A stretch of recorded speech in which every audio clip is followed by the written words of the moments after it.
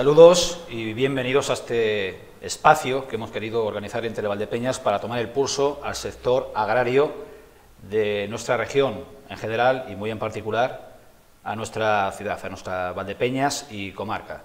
Eh, básicamente en nuestra zona de producción de la denominación de origen Valdepeñas.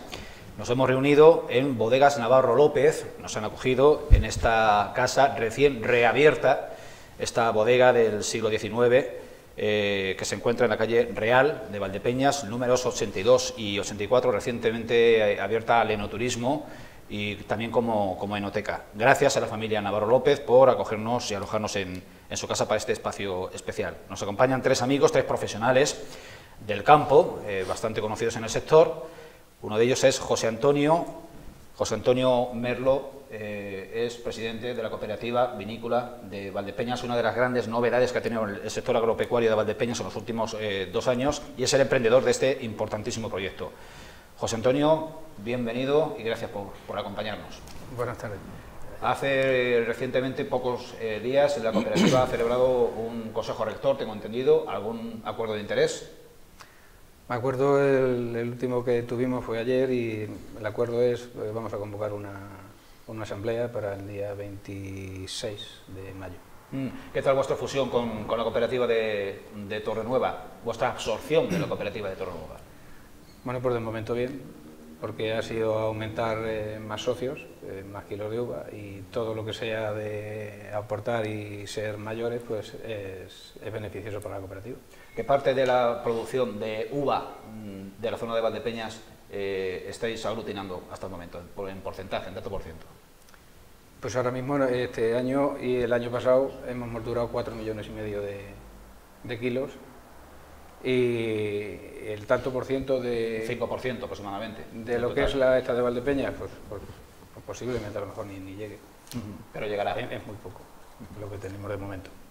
Tomás López Fernández Sacristán, agricultor de Valdepeñas, de familia eh, de agricultores, de saga dedicada al, al campo por entero. Sí. No sé si alguna vez habéis hecho vino también. Sí, en... hemos, hemos, tenido una trayectoria de, pues de, de varias generaciones haciendo vino hasta que el año 2002 pues la, las condiciones del mercado y, y, la problemática que había en ese momento y que continúa todavía desafortunadamente en la denominación de origen, pues nos quitó del, nos, nos, echó fuera del sector, pero prácticamente mi abuelo, mi padre y nosotros, uh -huh. tres generaciones que yo conozca haciendo vino.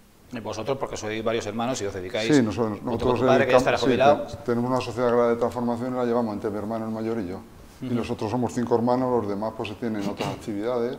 Uh -huh. Y pues lo que pasa, lo que siempre pasa en Valdepeña, pues que desde pequeño, desde la adolescencia, pues te empiezas a inculcar y, y, lo ves como una salida profesional al final, y al final pues te quedas. ¿Vuestra explotación comprende, incluye viña y qué más? Pues nosotros tenemos viña y tenemos oliva y tenemos también algún cereal, en menor medida, pero prácticamente pues nos dedicamos a la viña. Todo en el término de Valdepeñas. Sí, todo en el término de Valdepeñas. La oliva la tenemos un poco más, como más anecdótico, pero bueno, también nos dedicamos a la oliva. Fernando Prieto Ruiz, bueno, pues uno de, de, las, eh, casi diríamos, de, las, de los rostros de, de, Valdepeñas, una de las personas más populares de nuestra localidad, eh, expresidente del Consejo Regulador, el presidente más longevo, el que, la persona viva que más tiempo ha estado en el, al frente de la, de la DEO Valdepeñas, quitando al, al primero cuyo nombre Eduardo Iriarte. Iriarte, que estuvo desde 1977-79 hasta la llegada de Mijares en el año 87, creo recordar. No me acuerdo exactamente, yo sé que en aquellos entonces era, era joven, aunque ahora tampoco soy que sea excesivamente mayor, pero era mucho más joven, uh -huh. y no me acuerdo exactamente los años que estuvo Iriarte, pero sí, de los, de los vivos, de los actuales, sí, yo en varias etapas he sido el que más tiempo ha estado en... Dirigente provincial y local de, de COAG y antes jóvenes agricultores, uh -huh. y bueno... Eh, creo que es le, el tiempo que llevas eh, no estando en activo, no estando en la palestra, bien como dirigente agrario o como representante agrario, o bien como presidente del Consejo Regulador, o bien, por qué no decirlo, ejerciendo la política, yo creo que es la, el, el, paréntesis más largo que te has tomado desde que te conozco, que va ya para 30 años. No, hombre, no. no he tenido no. paréntesis, he tenido paréntesis sí, importantes, ¿no? Es decir, eh, yo soy de la opinión eh, que no es bueno estar muchos años en un cargo continuado. Yo entiendo de que en cualquier cargo de la vida, y sea de la faceta que sea, y sea del organismo que sea, no es bueno perpetuarse en los cargos, es bueno tomarse paréntesis y oxigenar un poco, porque si no parece que te meten mucho, eh, o muchísimo, más que mucho, muchísimo, en el sitio y no ves el exterior. Y es necesario de vez en cuando ver el exterior para ver lo que te aporta, porque si no, muchas veces, ya te digo, es, como si te pusieras unas anteojeras y no ves todo lo que viene. Y estando fuera, evidentemente, viene más. Porque es curioso, cuando uno deja los cargos, te vienen eh, muchas más informaciones que, una, que, estando dentro, curiosamente, ¿no? Pero bueno, así es la... ¿Se ve mejor el fútbol desde la grada que estando jugando? Evidentemente, evidentemente. Porque tienes la, tienes la perspectiva de todo el campo y de los dos equipos. Y cuando estar dentro solamente tienes la perspectiva de tu equipo y eso llega un momento en que te puede llegar a confundir. Por eso soy partidario de que los, cargos tienen que tener eh, un límite de tiempo y no excesivo tiempo. Vamos a hablar de uva, vamos a hablar de previsión de, cosecha en, en, 2018, vamos a hablar del nuevo escenario de la denominación de origen Valdepeñas desde el punto de vista agrícola, vamos a hablar de novedades en la política agraria común. El 15 de mayo se acaba el plazo para presentar las, las pertinentes solicitudes, se esperan unas 130.000 solicitudes en Castilla-La Mancha, que podían comportar unos ingresos al sector en nuestra región de 650 millones de euros.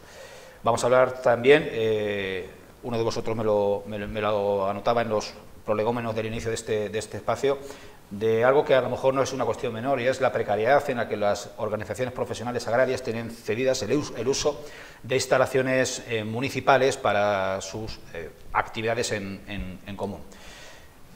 Hablar, como hemos dicho, bueno, pues según lo, preciséis, y no hace falta que llevemos un orden concreto, bueno, pues le pregunto al presidente de la cooperativa, ¿cuál, ¿cómo va a ser la cosecha de uva en, 2018? Comparativamente... La, cosecha de uva para el 2018, en principio, lo que viene, lo que, lo que ya se ve, lo de regadío no está, no está mal. En secano, en secano eh, ya es más difícil, es más difícil porque me vienen, yo he visto muchas mariposas que, vienen vacías, no, tienen, no sacan uva. Entonces, para este año que viene, eh, pues yo que sé, para la vendimia que viene, pues no sé si sea una cosecha normal, normal. Lo que falte que echen de menos los, los secanos, pues a lo mejor los regadíos los compensan. ¿Pero qué parte de la explotación total hoy en día está en, permanece en secano? Tiene que ser una pues, proporción pues, testimonial casi. Yo exactamente, exactamente no lo sé. Prácticamente un 10 o un 15% puede haber en secano. Y con tendencia a seguirse. Hay, hay, más, hay más, habrá más de un, 30, habrá más de un 30% posiblemente. Sí, posiblemente haya más de un 30%. Y es el que realmente sube o baja la producción, porque los regadíos tienen una producción bastante estable en el tiempo y en, en volumen y los que hacen oscilar las producciones generalmente suelen ser los secanos. En el 2013 eh, hubo una cosecha muy grande porque los secanos, que fue cuando subió el marzo, fue cuando subió. Cuando el secano baja, pues tenemos una producción estable que es de regadíos. Lo que sí va a oscilar más fundamentalmente es por lo nuevo que se está poniendo en la espaldera, que entra cada año más en producción.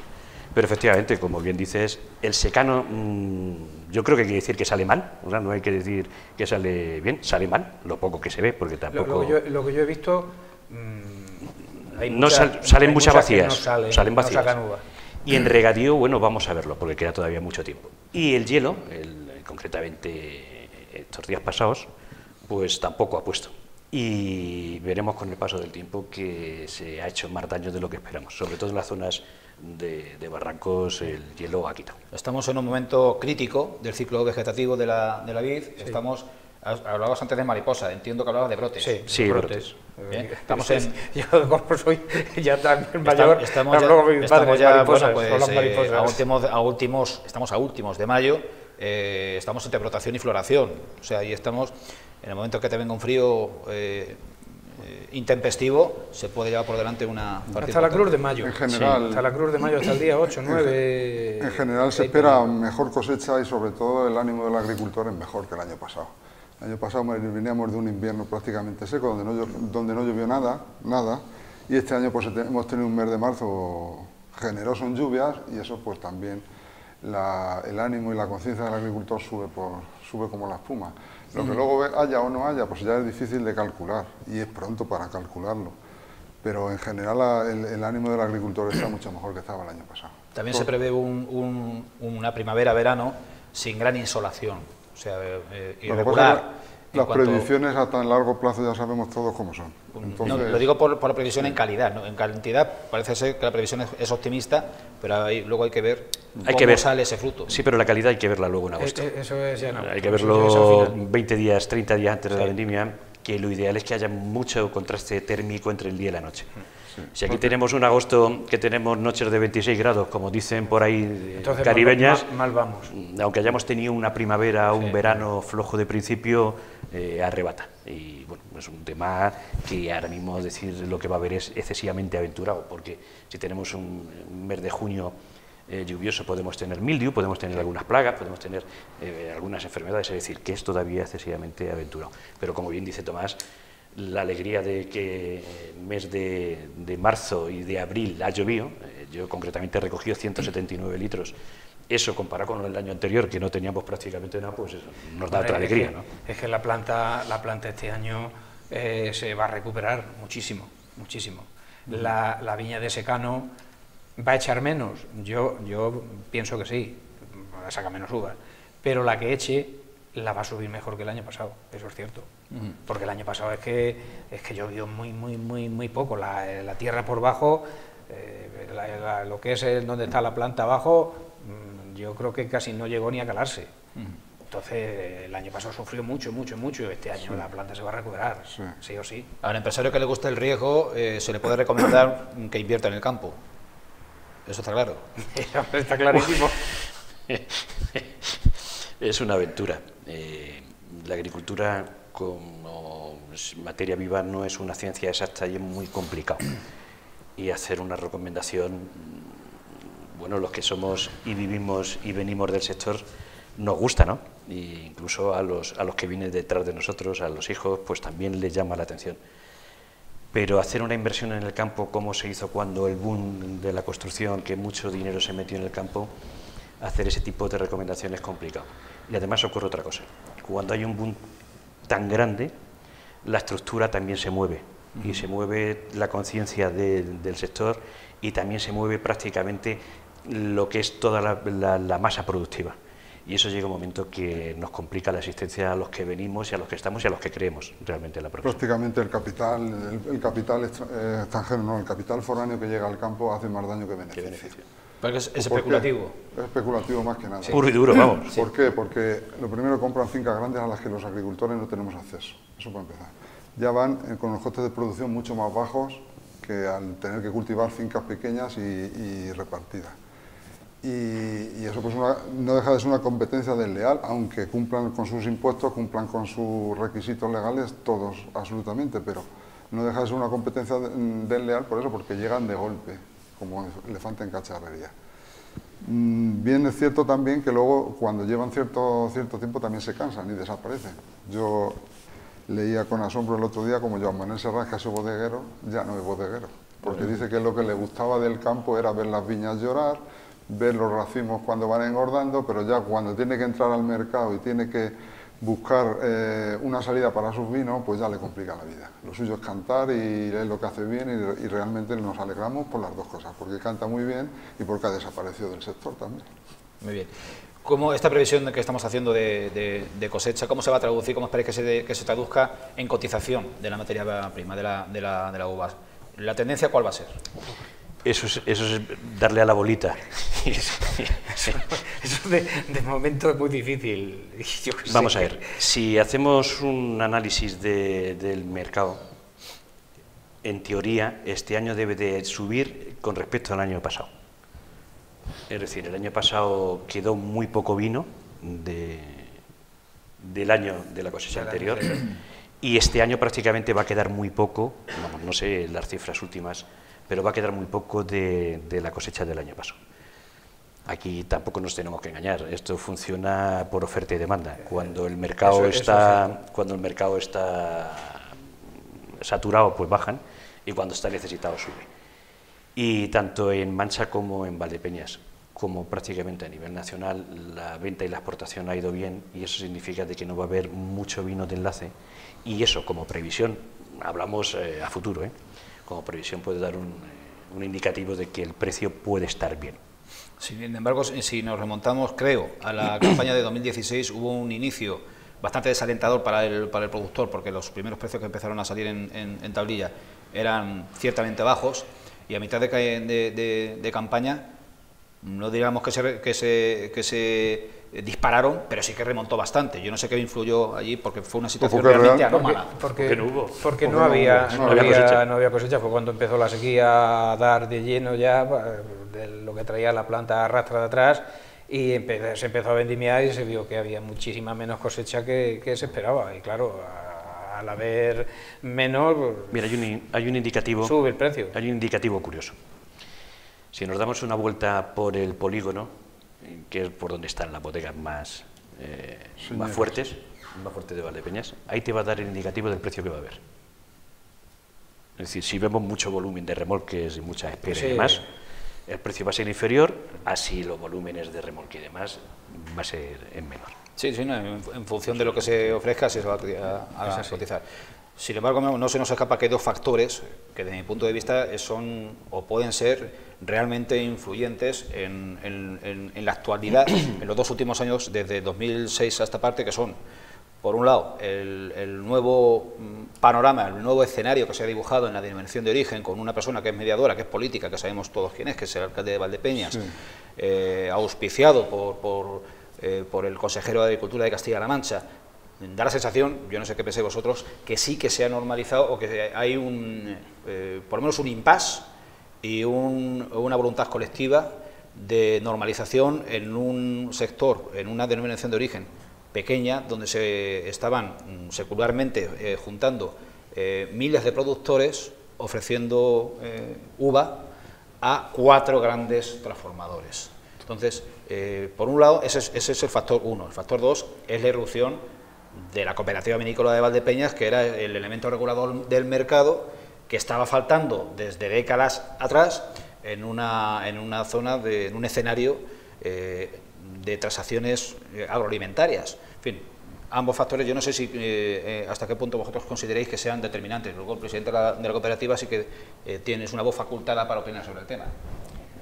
Vamos a ver, el, ahora mismo la tranquilidad que hay en la, en la DEO Valdepeñas pues es, es beneficioso para, para la DEO y para el vino de Valdepeñas porque antes la guerra que, había, pues así no se podía, no se podía seguir.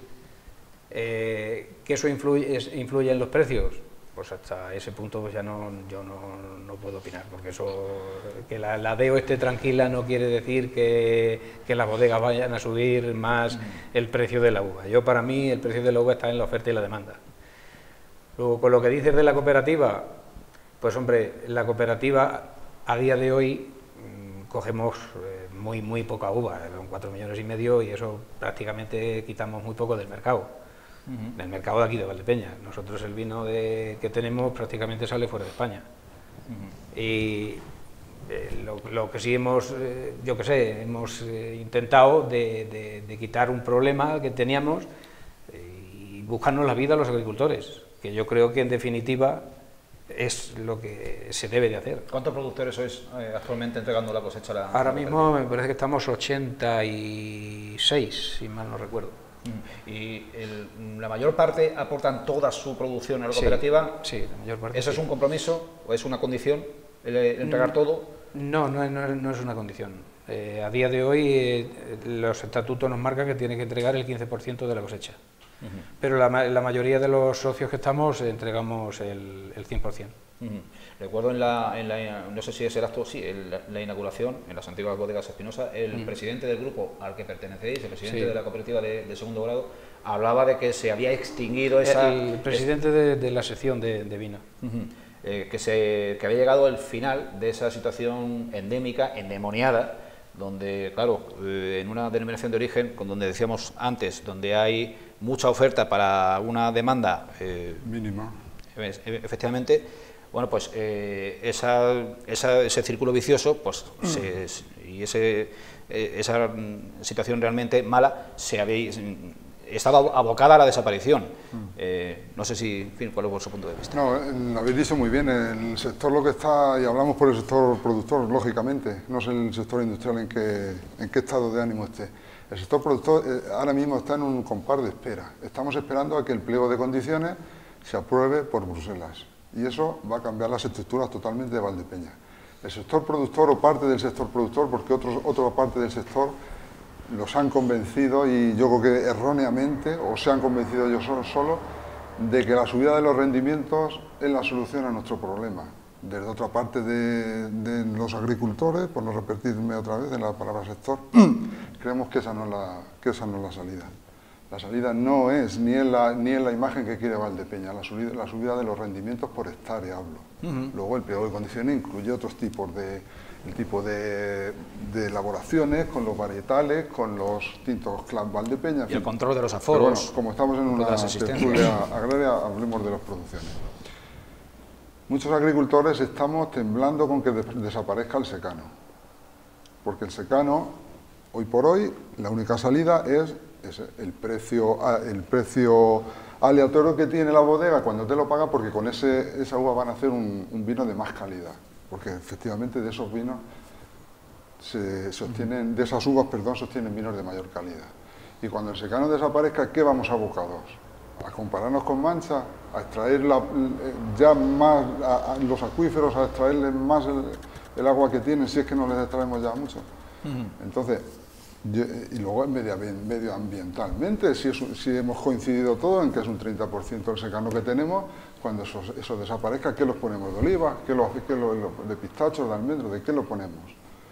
Afortunadamente todavía, compaginando secano con regadío, pues todavía en explotaciones donde se cuiden ambas y los secanos no se tengan como una cosa aleatoria, sino que se les mínimamente se cuiden, pues luego la bodega te recompensa en el precio porque es una bomba de mejor calidad. Eso, eso es lo que debería de, de el secano tener un precio distinto al, de regadío. Pero si eso no ocurre, el secano... Hay, eh, varias cosas... Pero vamos a ver, estamos en una bodega Navarro López, donde se compra la uva por calidad. Conozco bien las condiciones de la bodega Navarro López a la compra de uva. Esta bodega te paga la uva de secano más cara y la uva de calidad te la paga más cara. No, eso no, es una norma común. ¿Eh? No es una norma común en los, en los grandes transformadores. Pues habrá que intentar de que eso es una norma común en Valdepeñas, de que determinadas calidades de uva, no digo variedades, calidades de uva, sobre todo los tintos, se paguen más. Se paguen más porque es que si no estamos abocados al desastre, es un desastre ecológico. ¿Qué hacemos con el 30% de unas 40.000 hectáreas habrá, no? Prácticamente. 29.000. 29.000 hectáreas. ¿Qué hacemos con el 30%, con, el 30 con cerca de 10.000 hectáreas? ¿Qué hacemos? Transformarlo en regadío. No, vamos a ver, ahí, si no tenemos agua, si no, tenemos agua. Hay varias cosas, varias cosas que me gustaría puntualizar a lo que has planteado. Es decir, aquí pasan el consejo porque había precio. Si no hubiese habido precio, aquí hay que buscar siempre un culpable. Habría sido el consejo. Como ha habido un precio, quiero que haya sido bueno, pero, pero ha subido con relación. El consejo no tiene la culpa. Efectivamente, pero siempre antes, cuando no había precio, pues la culpa era porque no se hacía una cosa, no se hacía la otra. Si tú ahora miras atrás, no se ha hecho nada que no se está haciendo anteriormente. Es decir, pero la cuestión es que como había precio, pues hay algo más de paz. De lo que dice Tomás, el pliego de condiciones. Cambiar un pliego de condiciones en Bruselas es casi imposible. Es decir, se han vendido muchas milongas. Es decir, las cosas son como son. ¿No crees que esos, esos va a ser eh, casi cambios tanto para las bodegas, mayor control como... No, mayor control es el que hay. Es decir, no hay mayor, es el que hay. Tienen que hacer una declaración mensual. Cuando se apruebe, sé que se aprueba, tiene que hacer una declaración mensual. Eso no, es una cuestión de, eso no es una cuestión de pliego de condiciones. Es una cuestión de que está en el mismo pliego para que tú tener la característica de vinos de denominación de origen. La cuestión es que antes eso, el control, lo llevaba el Consejo eh, directamente y cuando se cambió la ley y pasó a interprofesión, eso ya lo llevaban empresas externas. El mayor error que se ha cometido aquí, porque decían que no se puede ser juez y parte y de que, de que no se juez y parte los controles son más complicados y más difíciles y de hecho bueno pues ha habido ciertos problemas con algunas empresas y de hecho bueno pues se ha hecho público en ese sentido. Subir la producción, Bruselas no lo va a admitir, porque va a decir, ustedes no han cambiado prácticamente de pluviometría, no han cambiado de horas solares, no han cambiado prácticamente nada, lo único que han cambiado ha sido de técnicas de conducción, que ha sido de vaso a espaldera. Los límites, perdona Fernando, los límites en la vecina Mancha son iguales, superiores. No, superiores. o inferiores? superiores. Entonces, ¿por, por qué en Tomelloso sí y Valdepeñas no? Pues porque ellos cuando hicieron su denominación ahí lo tenían y nosotros no. Y porque otras denominaciones tienen unas características y otras tienen otras. Es decir, hay mucha gente que comparte lo que dice Tomás, es decir, subir la producción creo que es un error. Hay otra mucha gente, porque el sector en ese sentido está dividido, y opina que hay que subir la producción porque como se pasan de producción a acogida, pero aquí lo que no, lo que no miramos es la proyección de futuro. Es decir, aquí tenemos en la denominación de origen, de origen un volumen de venta de vino de denominación de origen. El resto no es vino de denominación de origen. Aquí vendemos aproximadamente, un año con otro oscilando, alrededor de 60 millones de litros. Nosotros tenemos capacidad para producir bastante ¿De más. litros o de botellas? De litros. Tenemos producción, capacidad para producir bastante más. De hecho, el se- de resto hecho se, produ- se produce, pero se vende. mucho más, pues se puede vender de vino de la tierra, de vino de otras características, y eso no significa que en muchos casos tenga que bajar en exceso la- la- la- el precio. Aquí lo que tiene que tener el agricultor claro es qué vía quiere coger, o la de la producción y irse a una vía, es decir, Sí. o a la de una producción menor y escoger los vinos de denominación de origen. Pero eso es una cuestión que la tiene que elegir el productor. Y aquí lo que se están haciendo son muchos cantos de sirena y muchas veces muchas organizaciones. Decir, pues que tenemos que ir a esto, no, si es una cuestión individual. Mi, eh, mi- mi explotación posiblemente no tenga que ver nada con las características de la de Tomás o la de las suyas. Y cada uno tenemos que ver qué proyección hacemos con respecto a ese tema. Porque a lo mejor a mí me interesa si tengo mucha agua, lo cual en Valdepeñas es bastante complicado, pues irme a vino de la tierra y producir todo lo que yo pueda. Y si no tengo, pues tendré que, que irme pues, a vinos, a otro tipo de vinos y a otras calidades de uva. Y las dos cuestiones son loables. Ahora bien, convivir las dos es complicado dentro del mismo conjunto. Y eso es lo que tenemos que tener claro. Y luego a reiterar, que Bruselas no suba la producción lo veo difícil. Y no en cuestión, como se dijo por ahí, que en año y medio, dos años lo íbamos a tener. No, ya tenemos dos años y no hay por Ya han dónde. pasado los años, y vamos a tener otros dos y no va a haber por dónde. Es bastante complicado subir la producción. Porque si ahora mismo analizamos 25.000 hectáreas por redondear, a 6.000 kilos nos vamos a la producción más baja, 6 por 5, 30, 6 por 2, 12. Estamos hablando de 150 millones de kilos de uvas. A 70, y- a 70% estamos hablando de 70 más 30, 100 millones de litros. Si vendemos 60, tenemos 40 que nos sobra. ¿Cómo vamos a subir la producción si nuestra capacidad productiva excede en el volumen total de producción Cuando que tenemos? realmente, Lo que podemos introducir en el cuando mercado. realmente no falta Cuando- de eso- Leo. eso es lo que estamos hablando, que, denominación de origen, es claro, no falta. También permitirme un, un- un paréntesis y luego si queréis regresamos por la, la comparación que has comentado antes de si nos queremos comparar con Mancha. Eh, la, la- la circunstancia sustancial que nos diferencia de Mancha es que Mancha sigue produciendo mucho granel y Claro. en Valdepeñas el granel prácticamente no existe. Recientemente, hace escasa fecha, se ha reunido en Valdepeñas la Asamblea Nacional de los Periodistas y Sí. Escritores del Vino. Han dado sus, sus premios anuales a los mejores vinos de España. Eh, vinos de- de- desde Jerez hasta Ribera y hasta, hasta, hasta Penedés. Entre los premiados en el, en el medallero hay dos vinos, creo recordar, de la denominación de, la denominación de origen La Mancha. De Valdepeñas, ninguno. Eso es penoso. pero, Quiero decir, Eso es penoso. pero, mm, ¿y qué me dices que Valdepeña es la, decir es por la las, por las tercera? comparaciones de que, de que, de que Mancha eh, volumen pero no calidad y nosotros no. No, no, no, pero, pero vamos a ver. Pero, Es que son pero- dos cosas distintas. No, vamos a ver, vamos al al- al- a los estudios de mercado, Valdepeñas es la tercera denominación de origen que más vino vende y que más conocida es. ¿Dónde- Sí, sí, ¿En qué sí. posición queda Mancha? Sin, sin- no, sin, sin ¿En duda. Sin duda, pero una cosa es el mercado pero- y otra cosa es el experto, pero, el, el experto La valorando tercera que ya, que ya ha ocupado la segunda posición, Sí. que la perdió. Que estoy diciendo la tercera, pero es la segunda posición en vino más conocido. Está, más- está en segunda, tercera, dependiendo, porque baja. lo- ¿En qué Pero- posición pero está Mancha? Los criterios, Tomás, son, son, Sí, son pero, distintos. eh, tú una, cosa, vas- una cosa es un experto probando ahí el vino. a- a- tú sales fuera de Valdepeñas, te vas por ahí a Costa, te vas donde te vayas de turismo, y tú vas a un restaurante, o un buen restaurante, y tú ves vinos de Mancha, ¿eh? yo he visto la carta de vinos de Mancha, y, ve- y vi- vinos de Valdepeñas, desgraciadamente no Ahí. los ves. Y hay vinos muy, muy buenos ¿eh? que pueden estar en las cartas. Porque ¿Por qué no Val- está? Valdepeñas en su momento abandonó la, Mal, eh, abandonó la hostelería gestión, y se Ahí dedicó, no, no. se de dedicó a la alimentación. Vamos a ver, hay- el mercado está distribuido fundamentalmente en dos partes. Y es hostelería, oreca y alimentación. Y vender alimentación y, hostelería es muy complicado en la misma marca. Muy complicado. De hecho, por eso hay grupos que se dividen para poder, para poder introducirse en, en los dos. Valdepeñas en alimentación lo tiene muy bien montado. Es de las mejores que lo tiene. Por eso vendemos mucho, porque lo vendemos en alimentación no se ha ido a vender eh, en restauración. Tener en cuenta que conforme vamos viendo los consumos de vino, va descendiendo los consumos de vino en, en restauración y va subiendo el consumo de vino en las casas y en alimentación. Es decir, entonces hay que ver qué proyección y qué mercado queremos. Y bueno, es una cuestión a jugar. De todas formas, si luego comparamos medallas en premios internacionales, porque es uno de los eventos malos de los periodistas eh, que escriben sobre vino, pero si vamos a medallas internacionales, Valdepeñas tiene una buena cosecha dentro de lo que es el conjunto eh, entero de la DEO. Lo que pasa es que Valdepeñas posiblemente no vendamos ese tema bien y hay que empezar a venderlo de que Valdepeñas está muy bien introducido en, Europa, muy bien. Y cuando estamos introducidos es porque el vino tiene buena aceptación. Y volviendo a lo de la producción, podemos tener, podemos, tener, podemos tener una producción elevada y hacer buenos vinos. Y hacer buenos vinos. Ahora bien, Mancha lo que tiene es eso, pero Mancha lo que tiene es 500 bodegas que venden y Valdepeñas tiene las que tiene. Esa es esencialmente, o sea, hay mayor equilibrio Rioja, para que nos hagamos una idea, Rioja tiene alrededor de 1.200 bodegas y es una provincia. Es decir, cuando tú pones a vender a 1.200 bodegas, no es lo mismo que vender 18 bodegas. Es decir, que son cuestiones muy distintas y muy dispares. Y vuelvo a reiterar, y como bien dice Tomás, estar entre los segundos y terceros de los que vendemos está muy bien.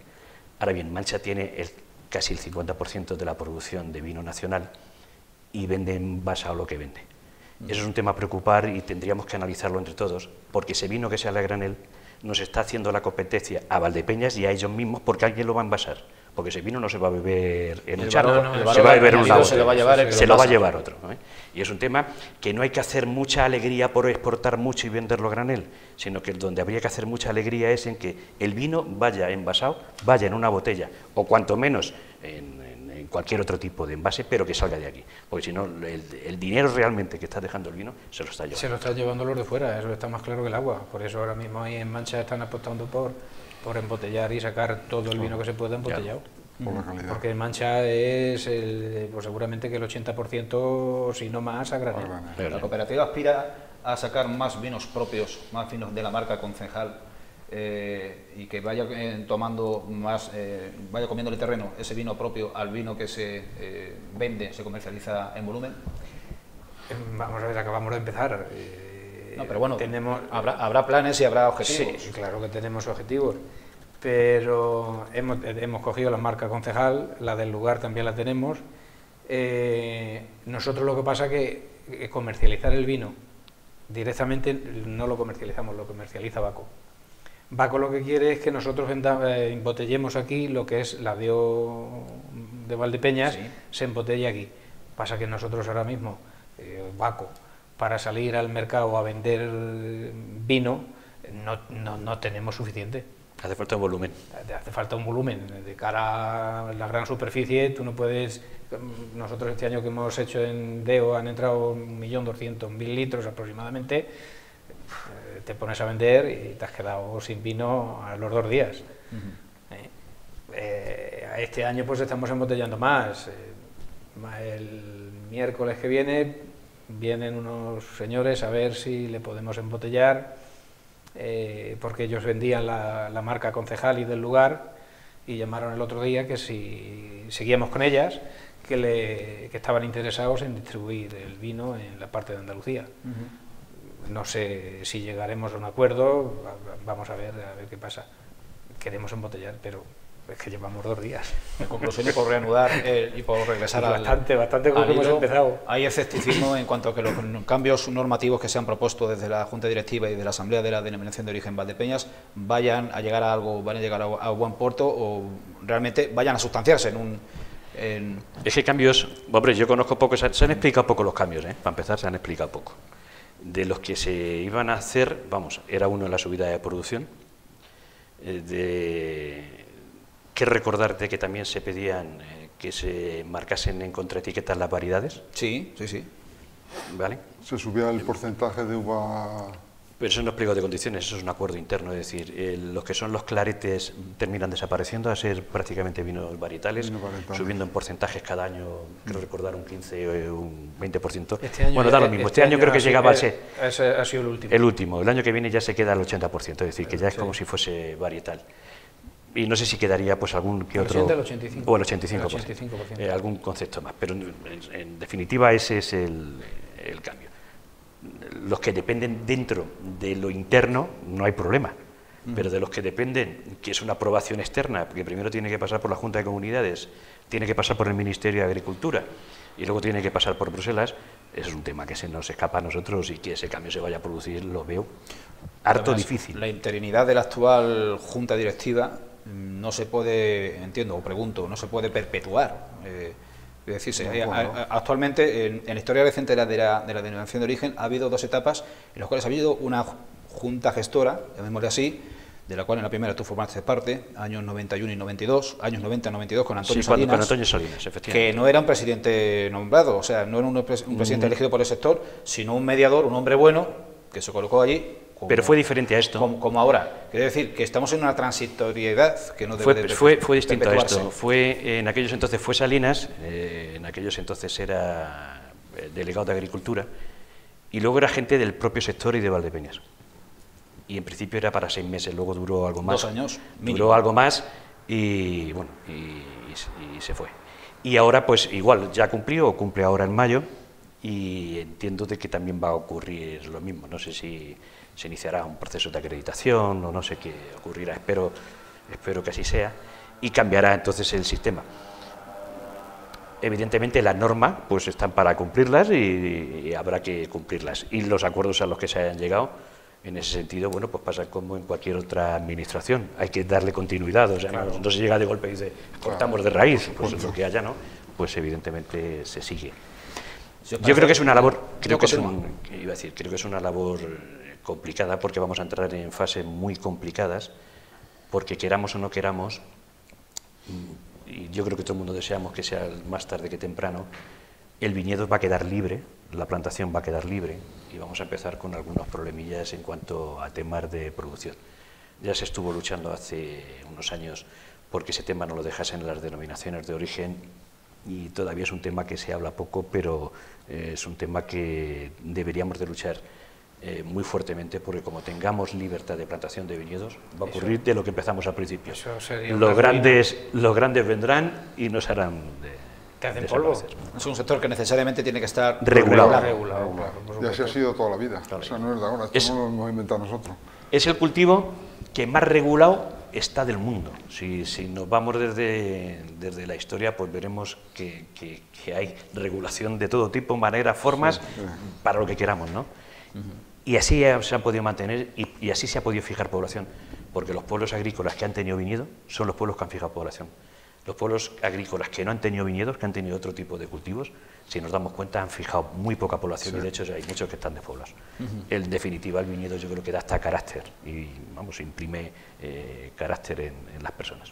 Uno de los temas que planteamos en el, en el, en el inicio, en el índice, es eh, la previsible reducción eh, más de un 5% de las, del presupuesto europeo para ayudas de la política agraria comunitaria, la PAC. Yo no sé, eh, realmente desconozco el tema, en qué medida depende el agricultor, el viticultor de Valdepeñas de las ayudas de la PAC, si hayamos a solicitudes de esas 130.000 eh, que citábamos al principio, no sé si haya muchas que partan del sector vitivinícola de, de, Valdepeñas. Yo os plantearía, ¿en qué medida esa reducción de fondos puede mermar el poder adquisitivo del pues hombre, a nadie, a ningún agricultor le gusta que le rebajen las subvenciones, eso, eso para empezar. Es indiscutible. Pero siguiendo porque las, las, ayudas de la PAC se nos escapan de nuestra, de nuestra gestión, pues las tenemos que aceptar como vienen.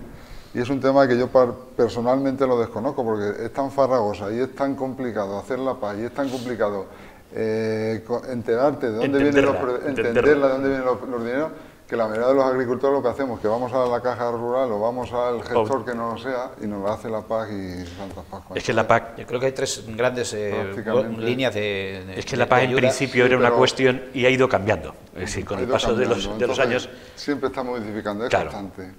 La PAC hubo un momento que se daba por no cultivar y luego se dio por cultivar. Y ahora se da por medio pelo.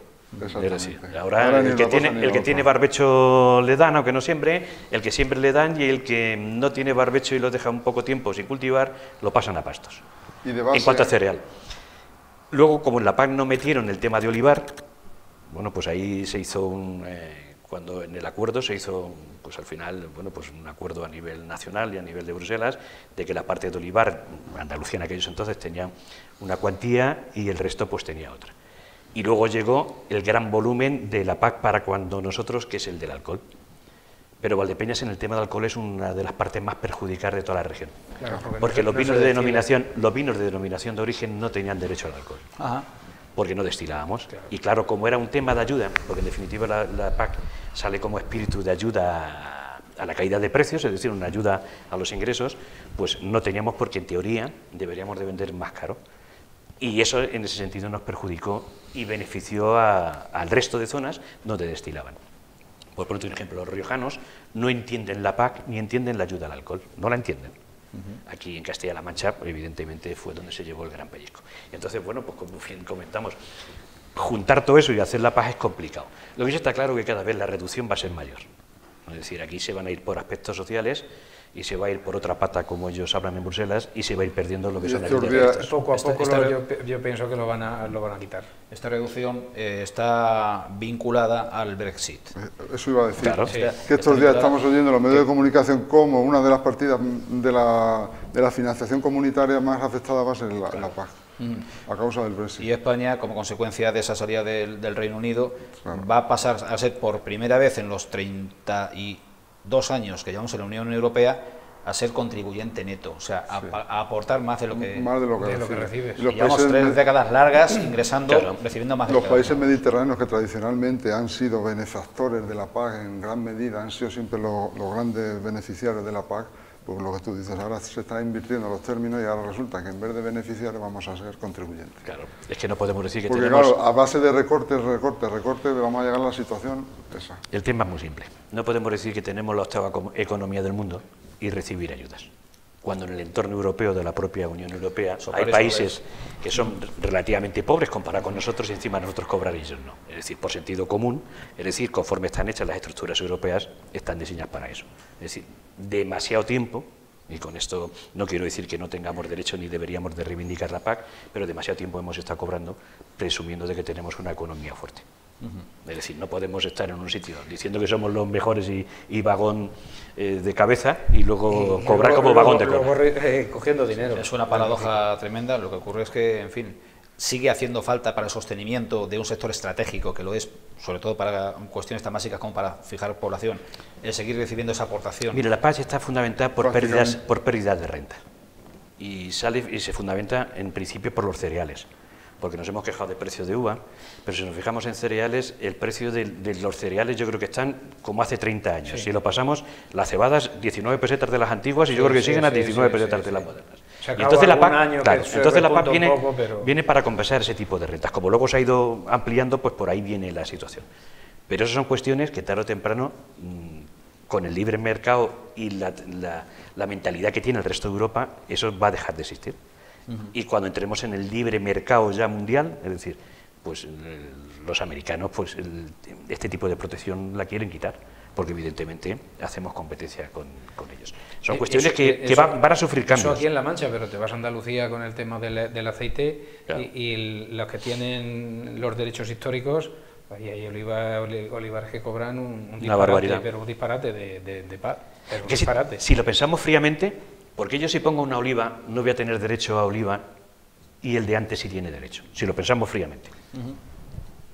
Es decir, cuando aquí decimos de que hay que potenciar al joven, de que hay que potenciar la agricultura moderna, si tú metes a un chaval joven y tiene un terreno y quiere poner olivas, tú ya lo estás privando de una ayuda de olivar. Así de sencillo. Así de sencillo. Es decir, que es que hay muchos conceptos que a lo mejor deberíamos de tener más aperturistas. Lo que pasa es que, claro, que el que tiene los derechos adquiridos y se lleva cuartos a su bolsillo, no va a decir, oye, yo se los voy a ceder a este. Pero son cuestiones que hay que empezar a analizar porque el envejecimiento de la población agraria es preocupante. ¿eh?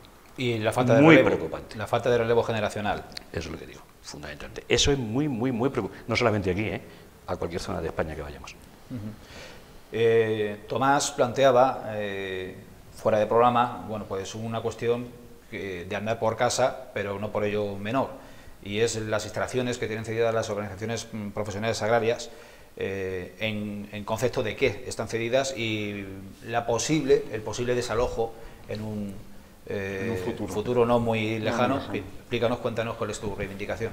Bueno, pues yo, mm, a ver, eh, en el sector siempre ha existido un- pues una queja, una congoja, de que en su día cuando las cámaras agrarias desaparecieron, eh, aquí había, nuestra Cámara Agraria Local tenía un importante patrimonio que por necesidades de la ley, porque las cámaras se, votó y se decidió cedérselo al ayuntamiento para que lo gestionara de la, de la mejor manera posible y siempre con fines agrícolas.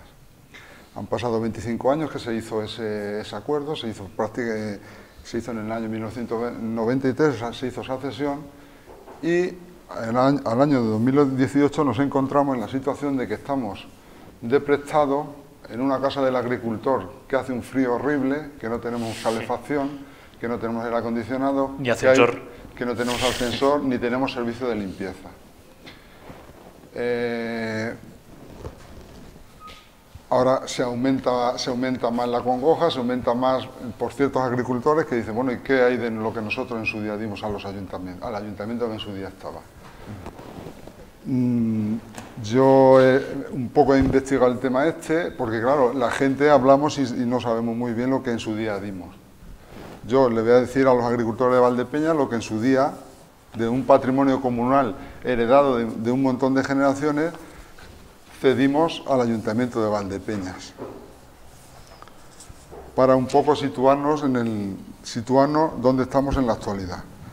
En su día se dio un solar de 150 metros más una casa de 419 metros en, plena, en pleno centro de Valdepeñas, en la calle de la Esperanza. Esperanza.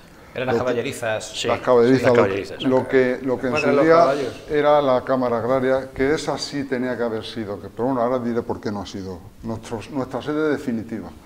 Valorado eh, de- a precio del año 93 en, en 114.000 euros. Un terreno colindante a la autovía y a la carretera del Moral y a Colival, con una superficie de 7.000 metros, valorado en 19.800 euros. Otro terreno, en la calle Estación sin número de Valdepeñas, antigua estación del Trenillo, y parte de los terrenos adyacentes que eran la vía del propio tren, con una extensión de 16.000 metros y una valoración, todo a efectos fiscales, de 36.000 euros. Los tres inmuebles que, los tres inmuebles que el patrimonio comunal de, los agricultores de Valdepeñas cedieron al, al ayuntamiento estaban valorados en el año 93 en 170.000 euros. Aparte, que es curioso, aparte de los inmuebles, los agricultores de Valdepeñas tenían en propiedad nueve cuadros de pintura, obras de arte de autores locales de la localidad algunos y otros relacionados con ella, sin valoración. Y una escultura que también es curioso, que era propiedad de los agricultores de Valdepeñas, sin valoración.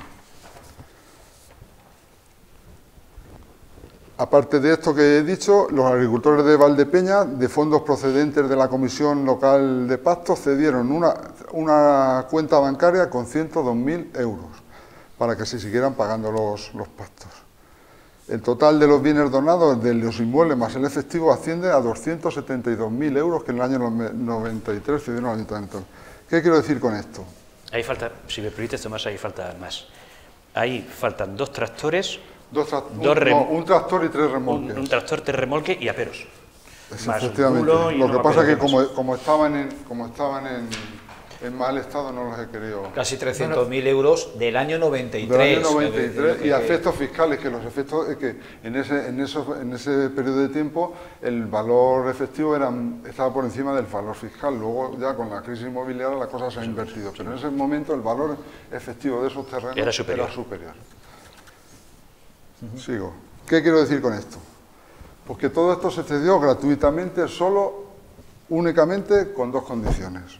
La primera, la construcción de una sede social en la calle La Esperanza, con arreglo al proyecto presentado y que se empezó y no se terminó. Incluía la nave abajo, unas oficinas en toda la extensión de la planta baja, pero y en una primera altura, que sería la verdadera casa del agricultor, dotada de oficinas, esa primera planta. Una casa del agricultor, del agricultor con raíz campesina, donde iban nuestros padres, donde iban nuestros abuelos a litigar los problemas que del INDE, los problemas entre propietarios, a, comprar los productos que entonces no existían, almacenes de, de productos fitosanitarios, con raíz campesina. Era esa era nuestra verdadera casa del agricultor. ¿Eh? Luego, ambas condiciones, lógicamente, no se han cumplido. Y desde entonces los agricultores de Valpeña estaban en una situación de precariedad absoluta, siempre de prestado, en diferentes sedes, repartidos. Tan pronto estamos en Valcentro, que está la comunidad, como estamos en la Casa del Agricultor, como la OCA está en extensión agraria, está en otro sitio. como las mujeres de AFAMER y de AFAD, que no me olvido de ellas, que también son mujeres rurales y reivindico por la labor que están haciendo, que tenían que estar con nosotros, esas dos organizaciones agrarias femeninas tenían que estar con nosotros en la calle de la Esperanza, con todos los agricultores, no que están por un lado una, y otro por lo otro. Entonces, en resumen, ¿qué ha pasado? Pues que antes éramos propietarios de nuestros edificios y ahora, lo que somos somos realojados, sin ningún patrimonio, sin posibilidades de poder, de poder pedir, exigir o demandar soluciones, porque este tema a ninguna de las corporaciones les ha importado, llámese PP, llámese PSOE. ¿eh? Y entonces estamos en esta situación. Lógicamente, las dos condiciones que no he terminado diciéndola, una era esa, la construcción de la sede social, y otra era destinar el resto de los bienes inmuebles que se le cedieran a fines de interés general agrario. La Casa del Agricultor no, se ha destinado a fines de interés general agrario, porque allí están otras organizaciones que nada tienen que ver con el sector agrario. Y ahora prácticamente nos van a, volver a realojar porque va a ser segunda sede de la UNED, parece ser y ya no sabemos dónde nos llevará. Sí, en principio creo, por lo que yo he oído, que no sé si lo cambiarán allí a unos pisos de Radio Juventud. En la salida del Peral. En la salida del Peral. Por lo que yo he oído, y que luego a lo mejor ni siquiera. Y esto, y esto que, puede resultar... a la casa del agricultor es que realmente no es del ayuntamiento. Sí, ya sí. Ya, sí. Eh, en principio... Muy recientemente ya sí. Una vez fuimos nosotros a pedir de formas, el, local y nos dijeron de todas formas, que, ellos vamos no tenían nada que ver. Esto es que tiene, tiene historia. Eh, yo por aclarar, en el 93 fue cuando el PP ya dejó de gobernar, es decir... No, no, no, si la cesión no se hizo al PP, si la cesión se le hizo a... a, a Salvador García. 93, 93, se hizo 93, no 2003, 93. No se le hizo, yo no, yo no hizo ni PP ni PP. Pero que luego pasó y se escrituró y muchísimo después. No, no, no, no, no, no, no, no, no, no. Más que se escrituró después. Que no, que no, que no, que no. Que se escrituró, que te digo la fecha que se escrituró, que no se que después... Que no. Que, hubo cesión, pero no hubo escritura. Porque hubo problemas. Porque hubo la escritura se, se, escrituró en el año 1993. Que lo he investigado. Que hubo problemas, te digo. Hubo problemas porque en la Cámara Agraria. En las. Bueno, porque te hablo de cabeza. En la Cámara Agraria hubo, hubo gente que no lo quería ceder. Porque la cesión tuvo que ser un pleno de la Cámara Agraria cuando ya no existía la Cámara Vamos Agraria. A ver. La Cámara Agraria. No existía cuando se cedió. Solamente existían los cargos. Y ya no existía como ente porque solamente existía la Cámara Provincial, que es la que sigue existiendo, pero un ente que vale para lo que vale, para nada, porque no tiene nada. Y entonces ya empezaba problemas. Y había miembros de la Cámara Agraria de aquellos entonces que no querían cederlo, que no querían cederlo. Y fue complicado la cesión. Y la escritura, yo te digo, porque ha coleado hasta última hora. Hasta la escritura... Y eso se hizo mal, y te voy a decir mi opinión. No, la escritura es de 1993. Se hizo mal, y te voy a decir la mi escritura opinión. es de 1993. En mi opinión. y, como firmantes fueron Antonio Ruiz eh, Espinosa. Espinosa y Salvador Galán Ruiz Poveda. Y ya está. Sí, sí, claro. no hay más. Pero Salvador no estuvo en el 93 de, de alcalde, ¿eh? Sí, sí, sí. sí, Y no más. Del 91 al 95. Y cuando quiera vas a los archivos. Sí, sí. Cuando quiera vas a los archivos, como he ido, y lo investigas. Pero no, de lo que te iba a decir. El problema es que tú tenías que haber hecho, se tenía que haber hecho una cesión condicional. Es decir, si usted en el proyecto de cesión no me da lo de la calle Esperanza, los bienes revierten a la Cámara Agraria. Claro, exactamente. Y se había evitado. Lo que pasa aquí se hizo mal. O sea, las cosas hay que reconocer. Se hizo mal. Y el ayuntamiento, como ente público, dice que es de todo, pues es de todo. Pero se hizo mal. Porque si se dice, no, en el momento que eso no se hace, revierte otra vez revierte al, al tema, se había solucionado. Estaban hechos en la calle La Esperanza. Es decir, ya no tiene solución porque por mucho que hablemos... Pero vamos a ver. Tontería. Que si Tomás que tiene razón, que yo no que te, hubo, que que hubo una cesión condicionada. Condicionada a que a la construcción de la sede social conforme al proyecto Sí. presentado, con la, con la condición de destinarla a uso de la Cámara Agraria Que sí. durante el tiempo que subsista dicha corporación. Extendiendo este Ya compromiso, corporación no espérate, extendiendo este compromiso a cualquier otra corporación o entidad que pueda sustituirla si se extinguiera y que realizara las mismas actividades o funciones. Lo que pasa es que han hecho caso omiso todas las corporaciones.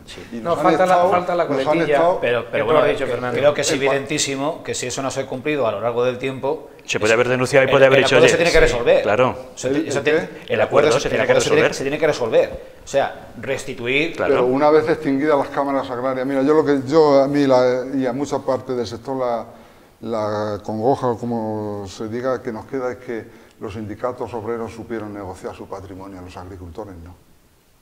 Seguramente. Sí, eso es Los agricultores, lo- porque los sindicatos obreros nos dieron de buena fe dos años para que abandonáramos los edificios, porque eran suyos en propiedad y nosotros, desgraciadamente, no supimos negociar nuestro patrimonio. Lanzado Un queda patrimonio el- que nos dejaron nuestros abuelos. Tomás, lanzado queda porque se nos va el tiempo.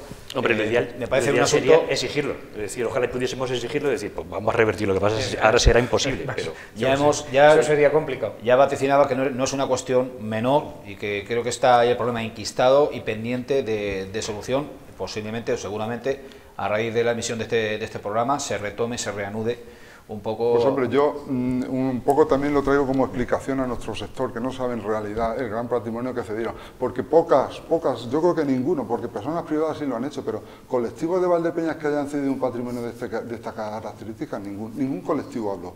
Personas privadas sí han sido generosas y han dejado su Quizá que obra. no haya un colectivo tan Y han- y importante han y con y tanto han- peso como el agrícola. y- en- y han dejado su hubo, legado. hubo una cosa también curiosa. La Entonces, Cámara, Como colectivo yo creo que hemos sido generosos para que se aproveche todo la- el pueblo de Valdepeñas de, de este patrimonio. la Cámara tuvo bastantes reuniones en el seno de la propia Cámara para la cesión y hubo sus tiranteces. El- yo creo que el- la mayoría de los agricultores no se enteraron hasta la cesión hecha. El- eh, sé que el colectivo sí tuvo muchas reuniones, pero la masa se enteró poco por no Es que decir en nada. Valdepeñas, desgraciadamente, los agricultores no nos preocupamos mm, prácticamente de nada. Cada uno vamos por nuestro lado y colectivamente... Hacia adentro y no, hay colectivo. No. Hay No. suma de individualidades. Sí. Bien, pues eh, creo que ha dado de sí no poco este, este espacio en el que le hemos tratado de, de tomar el pulso al sector agrícola de, No hemos hablado. Valdepeñas. Seguro que se nos tocan, o se nos, eh, hay, hay materia para estar aquí horas. Sí, porque no hemos hablado de tema de daños de conejos, que aquí no es como en otros pueblos, pero se ven. Hombre, a que aquí no es como otros pueblos. yo, yo diría que mm, no sé si en otros eh, la gravedad sea mucho mayor, pero aquí sí que está habiendo daños. Claro.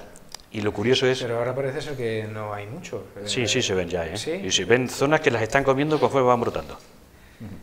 O sea, y, quiero decir que lo curioso es que aquí se está haciendo apoyo para que se vaya y se denuncie y se reclamen a un sector, pero no se miran el propio mismo. Es decir, porque los ribazos de los caminos hay que ver de quién son y crían conejos, en los ribazos de algunas vías viejas hay que ver de quién son y crían conejos, en algunas escombreras hay que ver quién es el propietario y crían conejos. Es decir, que cuando hagamos, eso hagamos la vista de y hagamos el lanzamiento, lo hagamos a todos, no solamente a uno. Muy bien. Mm, Evidentemente, este y otros temas que puedan surgir van a ser tratados en, en sucesivos programas. No quiero despedir este, este espacio eh, sin corresponder eh, con cortesía a la generosidad de, de Bodega Navarro López, que hoy nos ha acogido anunciando que, bueno, que está iniciado desde eh, principios de este mes de mayo el ciclo de catas de la familia Navarro López, se llama así, y anunciamos, aprovechamos para anunciar que el próximo 25 de mayo habrá un concierto cata aquí en la bodega Navarro López de la calle Real y que el 9 de junio habrá un encuentro gastronómico en calle Real números 82 y 84. Seguro que en la página web y en redes sociales nos podemos informar de cómo poder participar, cómo poder asistir a estos encuentros. Sin nada más, mm, mi agradecimiento y el de Tela Valdepeñas por acompañarnos y nuestro ofrecimiento para que nos sigáis acompañando. A ti por invitarnos. A ti por invitar. Encantado de haber estado con... Y dispuesto para cuando quieras. Lo mismo, lo mismo decimos. Así que, bueno, creo que cumple rendir pleitesía a los vinos de esta, de esta casa. Salud y hasta la próxima.